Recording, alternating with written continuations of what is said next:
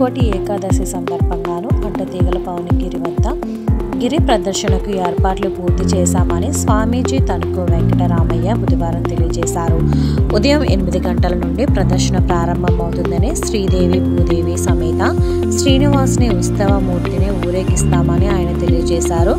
పలు ఆధ్యాత్మిక కార్యక్రమాలు ఏర్పాటు చేశారని మరియు భక్తులందరూ తప్పనిసరిగా పాల్గొనాలని వెంకటరామయ్య కోరారు.